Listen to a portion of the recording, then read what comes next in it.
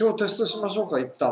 えね、お同じやつ。さっき覚える気持ちでいきましょう。ね。しましょう、しましょう。ちょっと緊張感がいると思います。えー、2つ以上の物質から全く別の1つの物質ができる反応。はい、そこマーカーで塗ってください、まず。2つ以上の物質から全く別の1つの物質ができる反応ですね。2つ以上の物質から別の物質ができるんですよ。これがとても大事です、別の物質。これをそうそう、そうなの。それを化合という。化合反応だから、えー化合という。化合ですか化合です、化合です。化合と言います。で、化合してできた物質を化合物っていうんですね。だから横に、これで矢印引っ張って、化合物も書いておいてください。化合してできた物質のことを化合物と言います。ですか？で、その、今までは分解やったやろ？今まで一つの物質が二つ以上の別の物質に分かれることやったよ。今度は逆に、二つの物質が一つに別の物質ができるというですね。分解の反対です。分解の反対は化合です。いきますよ。じゃあ、鉄と硫黄で何ができるかというとですね、硫化鉄という硫黄、これ硫化鉄と呼びます。いいですか？えーっと、これ硫黄って呼ぶんですけど、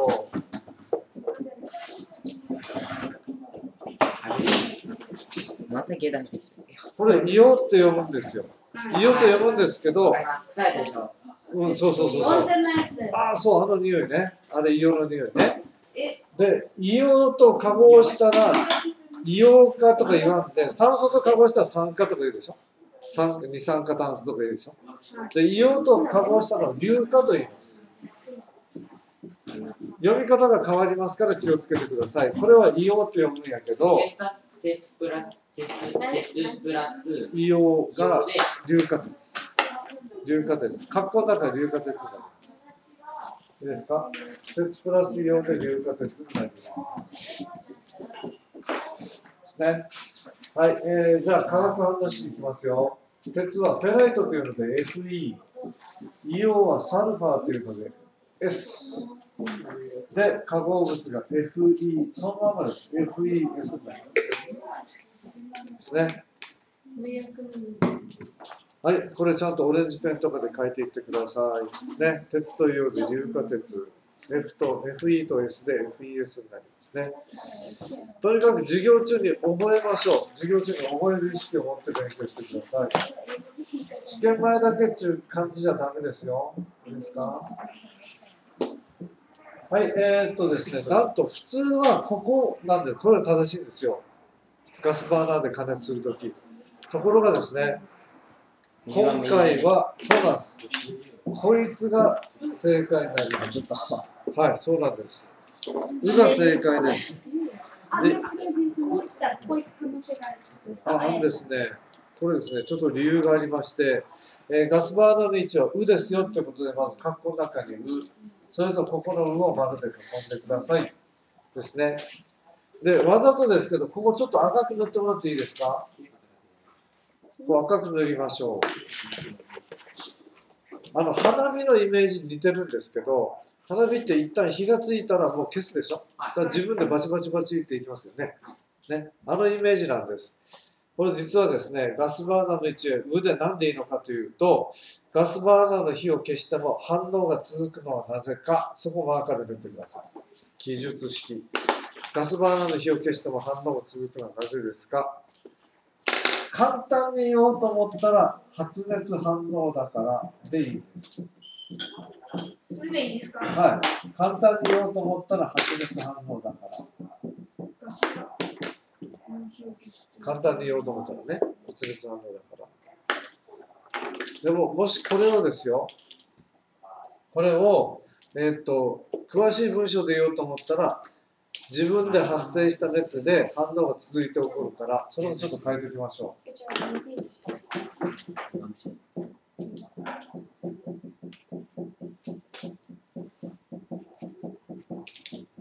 自分で熱を発生する。だからちょっと赤く塗ってもらったんですけどね。ガスバーナーで加熱したら熱持つんですよ熱を発生するわけですで自分で発生した熱で続けて反応が起こるこの熱で反応がずっと続けてる回火つけたらそうそうずっと熱いっていうことですか？そういうこと、もうこれがずーっとこう、どんどんどんどんこう、熱がこう伝わっていって、反応が最後が一番下は何でもないです一番下はですね、多分この実験は、あの普通だったら、ここから加熱して上に行くわけでしょ。ですね。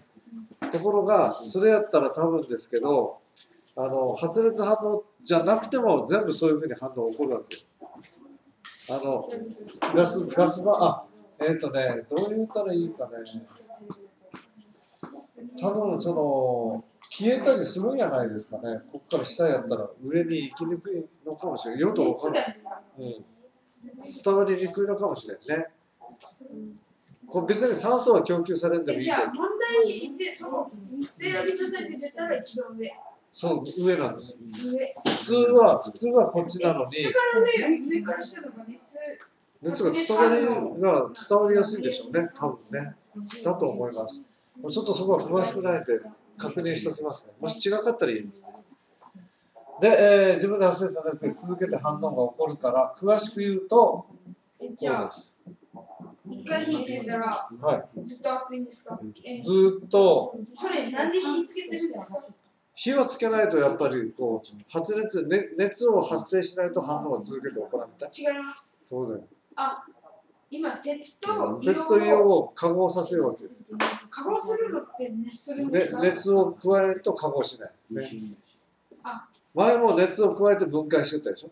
何かエネルギーを外から与えんと反応が起こらんわけです。化合するために鉄と硫黄をその中に入れて入れて混ぜて。で熱してそうそう。で一旦火をつけてそれでで発熱させ発てそうそう。そういうこと。そう硫化鉄にするわけです。いいですか？前半戦分かりました？理解できましたか？ですね。あの本当に皆さんうちの塾今成績このクラス上がりつつあるんよみんな。なかなかいい感じで上がりつつあるんよ。でそれはちゃんと授業聞いてくれてるからなんですけど一番理想的なのは学校の授業が一番多いやん。学校の授業の受け方学校の授業時間内に覚えるようと思ってほしいんですよ。それが一番早いんですよ。ノートを写すだけでノートを提出するために写すとかじゃなくてもっと中身を濃ゆくしてほしい本当に今まで俺が経験した中で一番勉強しよった人は家じゃないんです。学校の授業中にほとんど理解してたんです。それが一番楽でしょ？でほとんどの人が授業中はね例えば部活で使って寝ちょったりとか友達と話をしたり漫画を描いたりこの人は試験前の1週間で取り返そうとしても絶対に無理なんですよ。わかるでしょ？毎日やる授業をたった何時間か家で勉強試験前で勉強しようと思ったって無理なんですよ。だから成績悪いんですよ。授業中俺はもう家帰って何時間勉強しなさい。一言も言ったことない。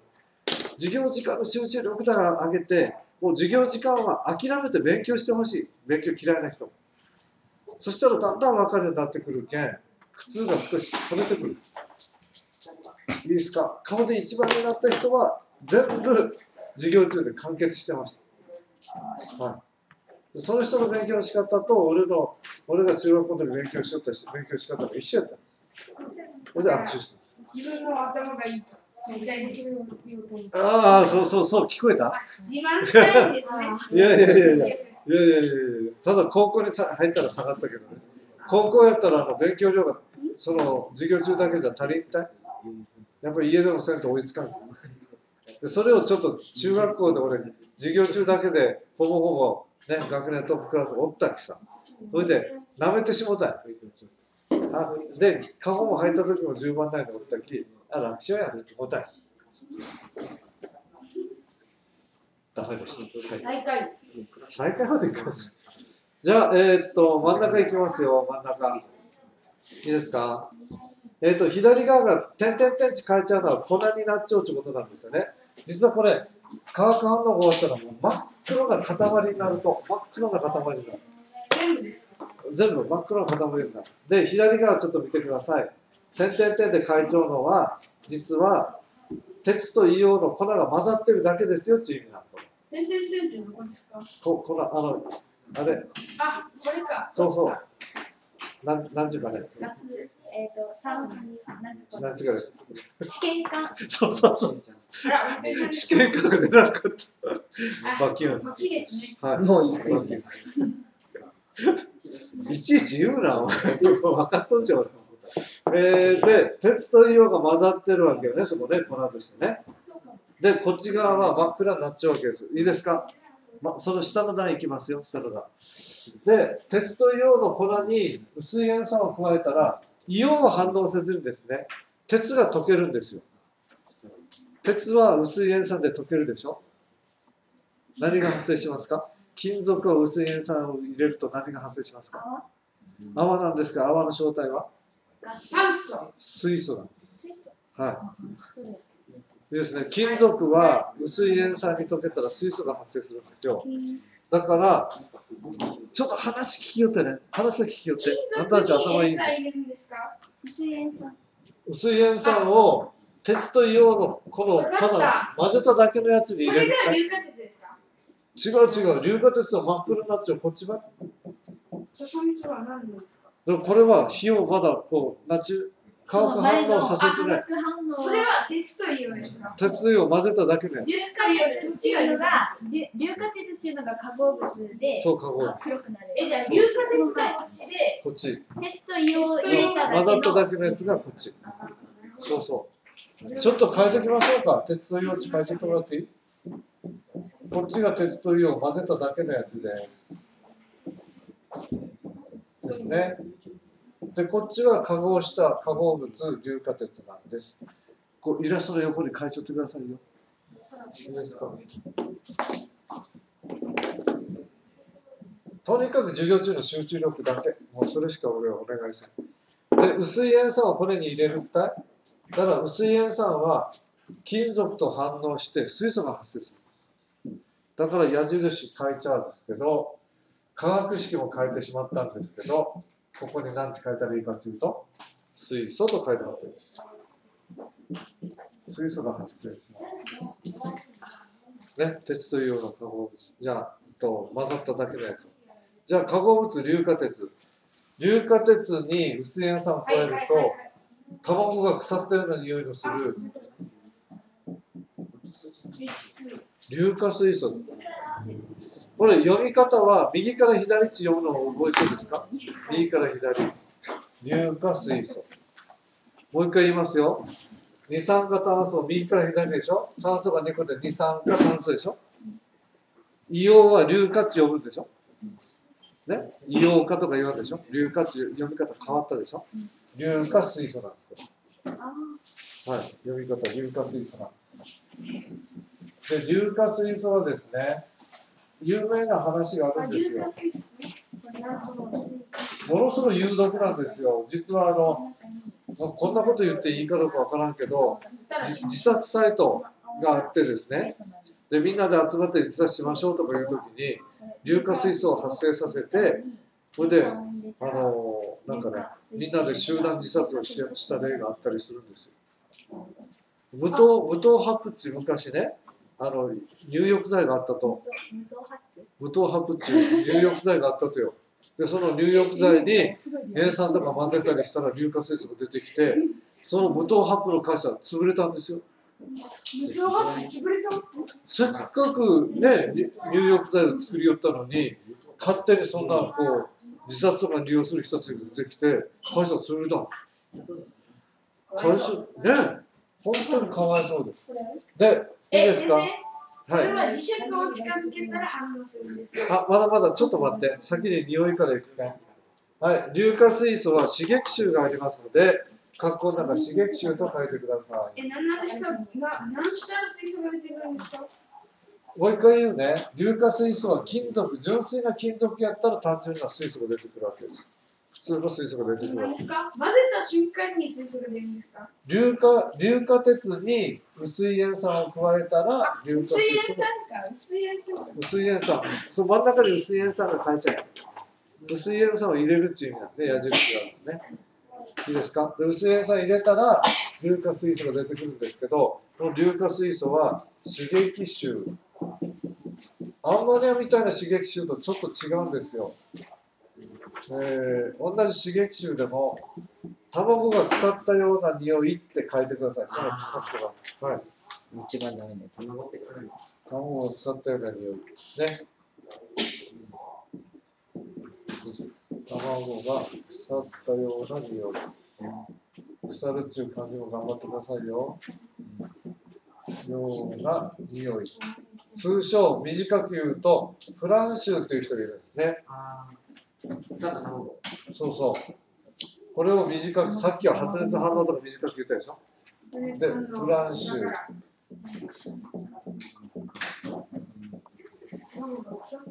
うまい。と言いますね。大体もともと硫黄の匂いするよね。硫黄の匂いってなんか卵腐ったような匂いするでしょ？あれに近いと思います。匂い的にあのねもう一回言うね今日は何の勉強してるかというと分解じゃなくて何の勉強してるんですか？カゴ。そうなんですよ。化合化合は一前。前の物質と全く違う物質ができたっていうことなんでしょ？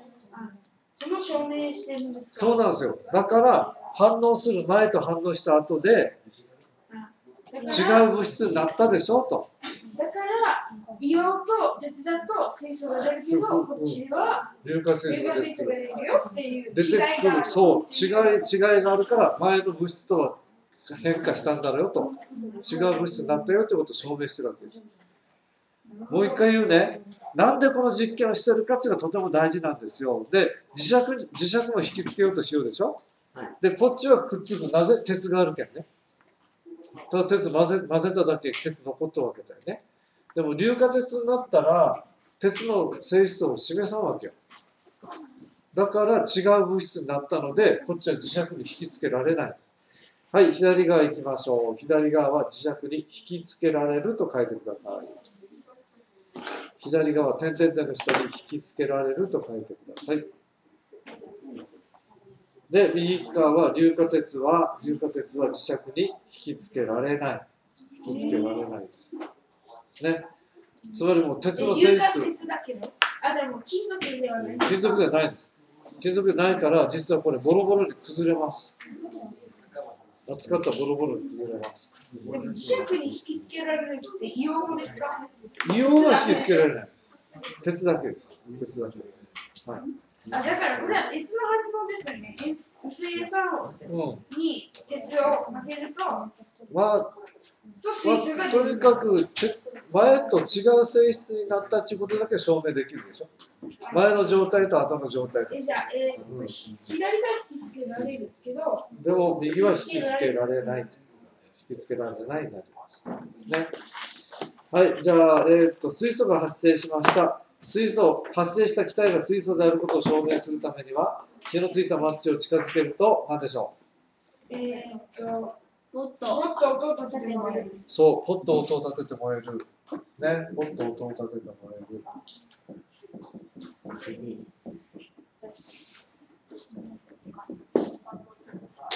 激しく燃えるでもいいですよね。激しく燃えるでもよかった。ね。だから発生した気体は水素ですよっていうことが証明できるわけです。ですね。硫化水素はこのこの匂いで一応判断してください。フランシュ、卵腐ったような匂い。ただこれはですね、実験上注意なんですけど、非常に有毒なんです。さっき自殺に、集団自殺に使われるような、あの吸いすぎるとでしょ？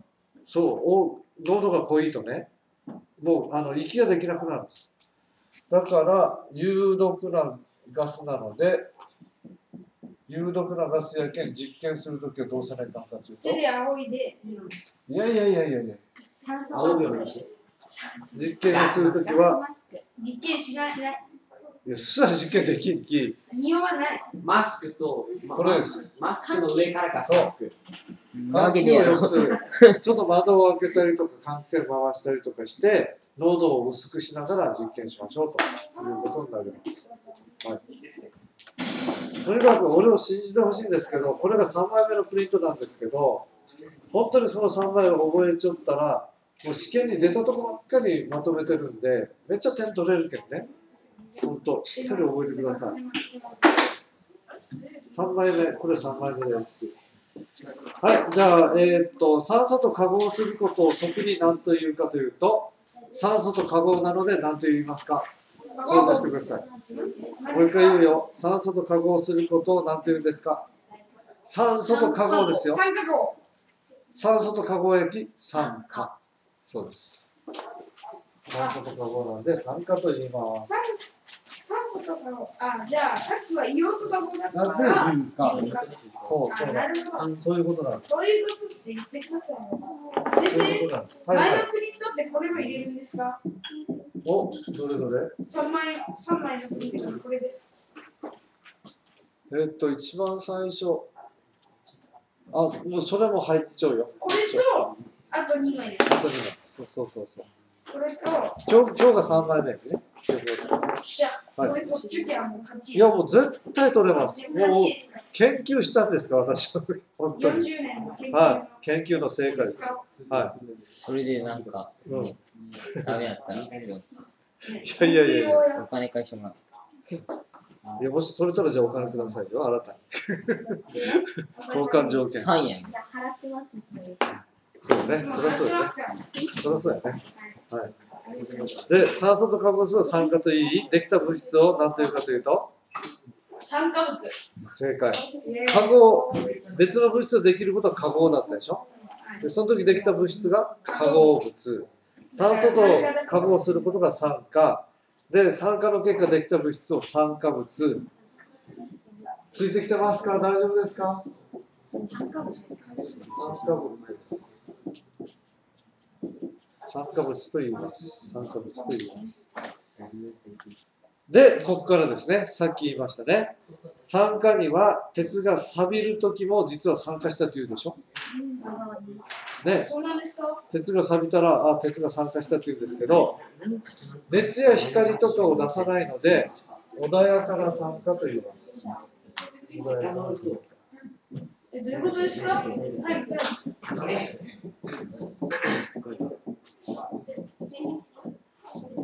ああやめれ酸化には熱がされるときに穏やか？シアン君、頼むき、で、あれでしょ、集中してほしいんです。ドライアイスとエタノールマイナス80の。いや、その話を今してないんです。話を聞いてほしいんです、本当に。いや、聞いてないで話しかけてばっかりやったっけ、あんたこの人の成績下がったら責任取らないかんといういや、大丈夫です。大丈夫ですよ。違う、点数上げるために塾に来ましょうわけってさ、結果を出すために。邪魔したらダメです。誰も邪魔をする資格はないんですよ。権利はないんですよ。いいですか自分一人で先生下げるのはしょうがないよ。自己自己責任やから。それが俺、分かってほしい。お前ぐらいの人間やったら分かってくれると俺は信じちゃう。絶対人を引きずり込んだらいかん。本当の友達ならあげちゃれ。お前が知っちゃうこと教えちゃれ。今教えました？いや違う違う授業中じゃない授業中は集団野球集団でリレーの練習しようときになんかそんなこと別のことしてもダメでしょ例えばいやもう一回本当あんたたち頭言いとっちゃお前にもずっと言い続けろよじゃ聞いてくれんかったらそれはできるわけないでしょ。はいまず聞いてくださいよ。ね。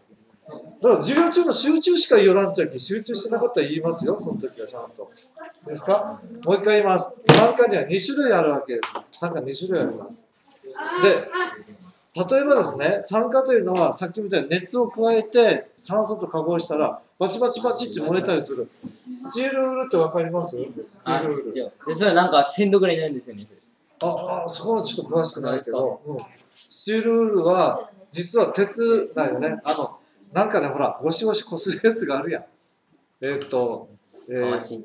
たわしたわし鉄のたわしがあるやんあんな感じでこう鉄でできちょったよね。鉄でできちょうやつがあってでこれにあの酸素とかを吹き込んで熱を加えたらバチバチバチって化合するお来た。あはい。よかったです。間に合ってよかったです。でそそそこにプリントがありますので今プリントやってます。プリント置いてないから穏やかな穏やかな酸化失意参加の上口。まあまあそんなイメージやね。きつい参加。激しい参加。穏やかと激しいがある。はい。どれかと激しいが。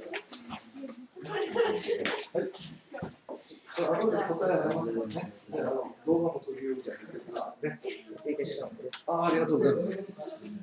で、穏やかな酸化というのは熱や光を出さんと。だって、鉄棒が錆びたりしようときにバチバチバチバチ熱や光を出すわけないやん。ね？自然にボロボロなっちゃうやん。で、それを穏やかな酸化って言ったよね。で、もう一つです。マグネシウムリボンやスチールウール、こいつなんですけど、マグネシウムリボンやスチールウールが酸化するときのように、熱や光を出して燃えるような、あ、これ光だけにしてますけど、熱も付け足してください。光を出して、そう。ここに熱も付け足しましょう。熱や光を出してですね。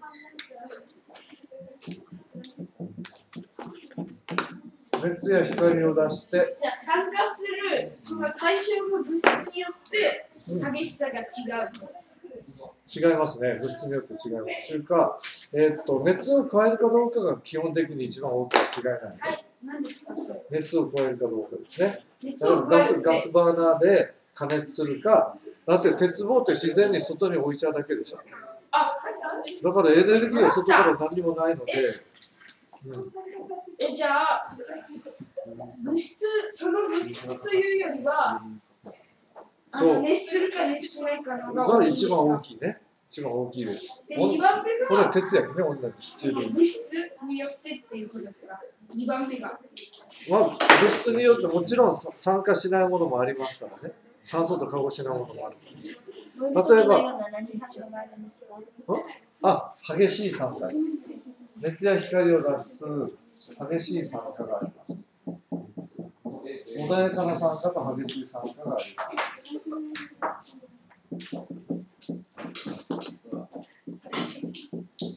穏やかな酸化と激しい酸化があります。2種類あります。ね、じゃあ、え次ちょっと次ちょっとがいいですか？あの熱によってうん激しさが変わるとか。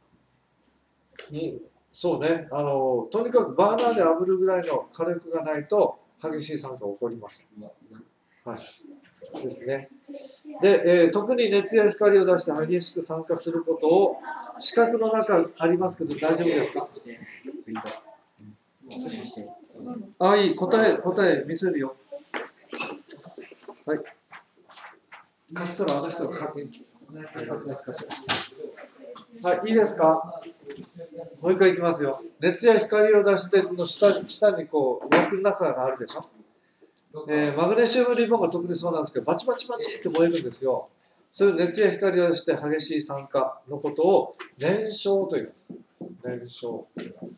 もうとにかくこのまま出るとっちゃ本当にもう信じてくださ絶対ですか？い。絶対出ますから。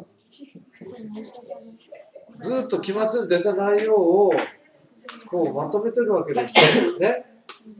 で、これと去年とか一昨年の過去問をすればかなり点数取れますよって話になるええええ燃焼ってどこにあるんですかどこに書いてあるんですかあら枠の中ないですよ枠枠四角い枠があるでしょあーこいつかはい特に熱や光を出して激しく酸化することを燃焼と言いますですねですか。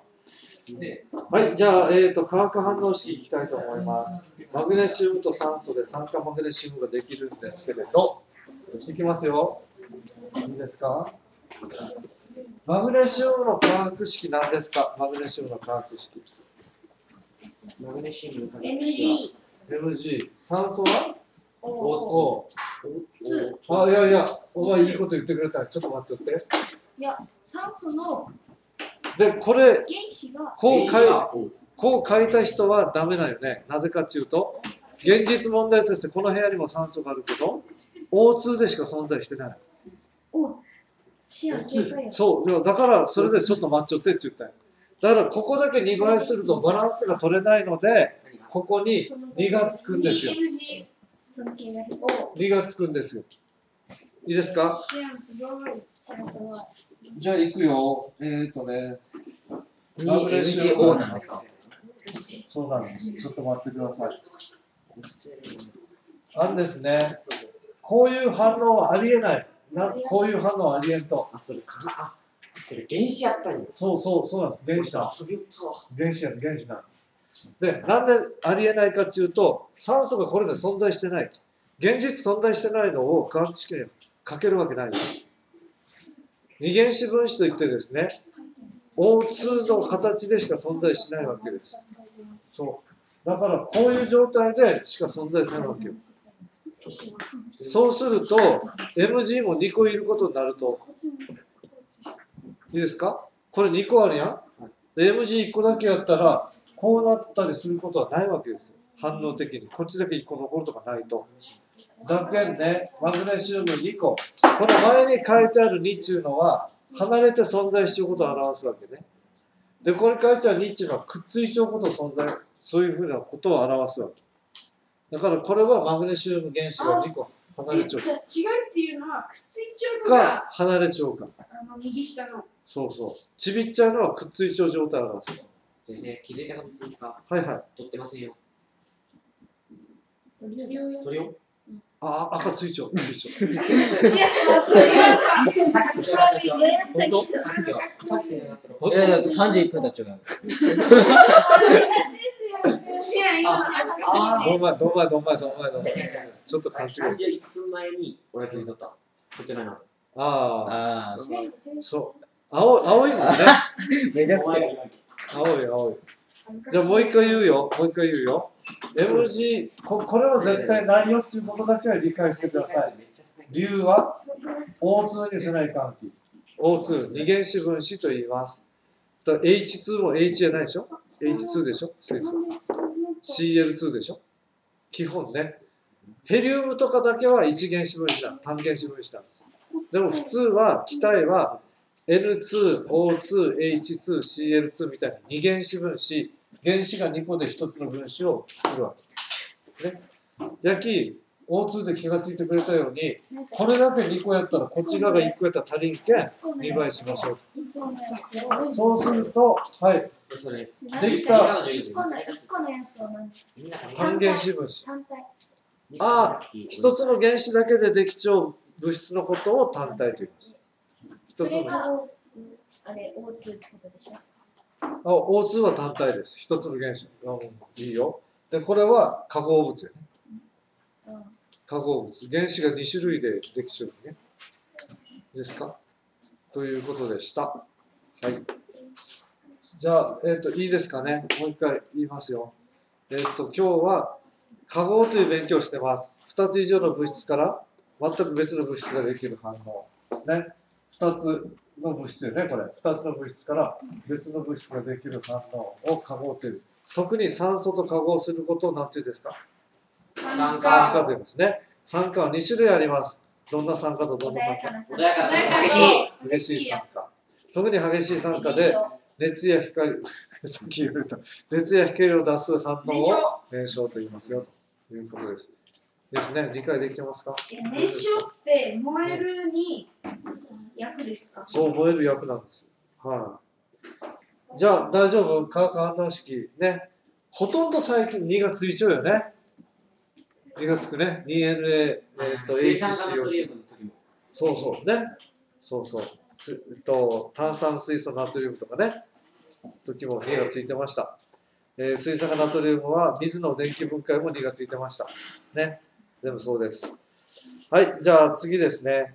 えーっと、えーマグネシウム金属なんですけど、薄い塩酸を加えると何が発生するでしょう？はいあ金属に薄い塩酸を加えたら？泡水素。水素水素、水素。はい、水素です。水素が発生します。次ですね。次これ、これに薄い塩酸を加えたら、実はこれ変化しないんです。変化しないと書いてください。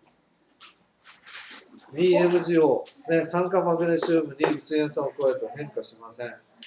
つまり、同じ薄い塩酸を加えて、こっちは水素が出るけど、こっちは変化しない。だから、全く別の物質になったよっていうことは分かるわけでしょ。ね。ということです。はじめ MG マグネシウムの時は金属水素が発生する水素が発生するけど酸化マグネシウムになったら水素が発生しない変化しないので物質が変わったよっていうことが分かる今日はもうその勉強なんだよだから一番最初に言ったように全く別の一つの物質ができる反応ということを話をしたわけです。ね。はい、えー下から6行目のとこいきますよ。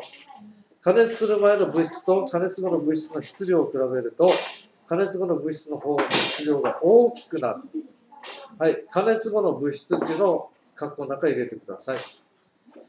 加熱する前の物質と加熱後の物質の質量を比べると加熱後の物質の方が質量が大きくなる。何を言おうかっていうとね、加熱前これや MG や加熱前。そうなんよ。大きくなる。増えるよ。なぜでしょう？これは加熱後な。見たらわかるけど、何かがくっついてきちゃう。おそう。酸素が化合してるでしょくっついてきた分だけ重くなるっていうのが常識やん。はじめ、最初はこれだけなんだ。よとよってね、最初これだけなんよ。ところが、酸素と化合して酸化したら、酸化マグネシウムになるんやけど、加熱前がマグネシウムだけ、加熱後が酸化マグネシウム。加熱後は質量が増える増える。なぜかこいつがくっついてきたからということです。分かった。じゃあね。えだから体積って変わるんですか？体積はほとんどほとんど問題ない。あの目目に見えない。変化が。質量はかなり重くなります。だから体積は問題出しません。変化が分かりにくいですねで、えーっと酸素が化合したからでてはい、熱を加えたら化合になるんでしょ？熱を加えたら化合しやすいですね、でもうん、いいですか、うん。酸素ってうん。変換に入らないじゃないですか、まあ、入るけど。だだけんね、まあ、ちょちょっと待って、それ説明するか。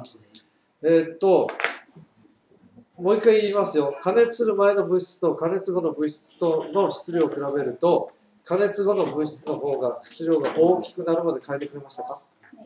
加熱後の物質の方が質量が大きくなる。これは酸素が化合したからである。または別の言い方すると、酸素が結びついたからである。でもいいです。ですね。で、代表的な酸化を今から書きますから、いいですか？炭素と酸素を加える。炭素の化学式なんでしょ炭酸素 C? C ういいぞ。で、C プラス O2 で有名な CO2 CO2、二酸化炭素。あ、カリウムじゃない。え炭素は酸素と化合して二酸化炭素になります。酸化の例ですね、酸化の例。下行きましょう。銅銅と酸素はマグネシウムが銅に変わるだけです。銅の化学式は何だったでしょう？CU。だから 2CU プラス O2 が 2CuO。酸化度酸化銅。酸化銅。酸化銅。で色がちょっと違うんですよ。色まで言っときますね。時々出るんで。酸化マグネシウムだけ白です。酸化マグネシウム白。でも酸化銅は黒。ほとんどの酸化物は黒です。ほとんどの酸化物は黒。酸化マグネシウムだけ白。ほとんど黒ほとんど黒。ほ炭化マグネシウム以外はほとんどとんど黒。あはいいいですか？はい。さっきはいはい。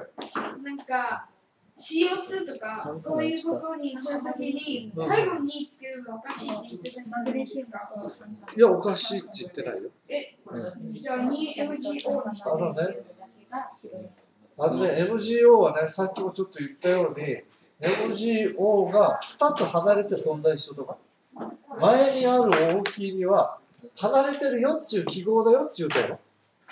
で、CO2 の2は、ちびっちゃいや。こいつって、こういうふうにくっついた状態をちゃんと表してる。くっついてるわけ。ちっちゃいの。ちっちゃいこの数字はくっついた状態を表してるわけ。わかったそういうこと C に2個いちゃう場合くっついちびっちゃい。でも上のやつは MG と MGO MGO はくっついちゃうんやけど MG とくっついちゃうけどそれが2つボンと分かれてるわ。MGO が2つけどそっちは C に O2 C と O2 ああなるほど。そうここに2がないでしょ。ここに2があるでしょ。はい。そういうことなんですじゃあね最後ねえっ、と実は水の電気分解の化学式覚えてますか？はいどうぞ。水の電気分解の化学。式二あんたが言ったやつさっき 2H2O 二イコール A2O 二 2H2 二プラス O ツ O ツ O2 だ O2 だねで実は水が電気分解して水素酸素になるよで逆に水素にささっきマッチの火をつけてぼっち爆発するよね。ちっちゃな。つまり酸素の化合使用器実は化合はこういう化学式になると水素と酸素から水ができますよみたいな。真逆なんです。この前までは水の電気分解という一つの物質が二つ以上の物質に分かれる勉強をしてました。今日は二つ以上の物質が全く別の物質ができる化学式の化合の勉強をしてるわけですね特に酸素と化合するのが酸化なんですね。だから水素が酸化したら水になるよって話。ですでここで素晴らしいことが起こるんです。実はえっと、車とかは燃料を燃やすと二酸化炭素が出てきて地球温暖化になるでしょ？水素で走る車が今開発されるんですよね。ね？だから水素って燃やしたら水になるんですよ。なんでですか？いやこれ見たらわかるじゃん。水素と酸素化合したら水になる。燃やすって燃やすっていうのは酸素が化合するっていうこと、酸素と化合することを燃やすことなの。基本的に。燃焼。燃焼や燃やすっていうことは酸素を化合して酸素と化合すること、ほぼほぼ酸素と化合することですね。ほぼほぼね、酸素があるところで燃やしたらよ。酸素化合する。ということはね、水素で走る車は排気ガスどころか水を出しながら走っていきわけやき、何も地球環境に影響を及ぼさん。そうそう。もう一回言おうか。その水を分解したらまた走るやんか。無限燃料それが理想なわけです。ところがね、水を電気分解するときまたエネルギーがいるわけよ。でももし間違だから、あんまりエネルギー的にはプラマイゼロになってしまう可能性がある火とかそうなの。水素はね、そこが一番危ないよね。ちょっとやったらピョンって済むけど、もうたくさんあったらドッカーンってす。げえ爆発す。る。あの、あれあれは水蒸気爆発やったけど、あんな屋根とか天井に吹き飛ぶぐらい激しいんで、です。ね。え水素ってどうやって酸化す。るんです。かもう、ただ水酸素と混ぜるだけじゃ酸化せんとか、さっきも言ったようにで熱を加える熱を加える。エネルギーを加えたら、そこであなたって水素を例えば今この空気中で燃やせば今ここに酸素があるから水になるもう、その代わり激しい爆発を。おおそう。いや、拍手じゃないです。拍手やいやいや、爆発した時に俺たち命がないとそうじゃないし。先生が助けてくれますいやそんなもんだよね。もう先生として、あちょっと理解でない。期末、あれ、日程教えてくれます。あ、あ、見て。11時の生産です。爆発しても発火物がなければいけないんじゃないですか。酸素とか入ってないかあ、そう、それ酸素がなかったら爆発はしません。11、12。12、13です。日曜ねで一応。まあ、ほんと、1やった？11、ら。なんでそんな覚えたのいや、今日先生が言った。え、一これになきます。これに買い。会会長ってね、会長ってね、一中の人と。あの、とにかくね、試験は情報が大事な。試合もいつ試合があるかっていうことで逆算して練習するやん、普通は。その試合に勝つように。ね。だけど勉強全く一緒で、試験の日程を先に知るっていうことはとても大事なことなんよ朝日5月だけないよ。いや、ある。いいですか？5月じゃない ?6 月か。あと、えっ、と、いいかね。全部終わったかね？これって格好の中。終わったね。はい。そうっすね。最初書く時間があったりね。なんとなくちょっといけるそれ今日はね、僕で来たとこはこれをあの自学ノートに書く時間だけやって、特別動画で撮ってません。じゃあ、えー、終わります。はい、お疲れ様でした。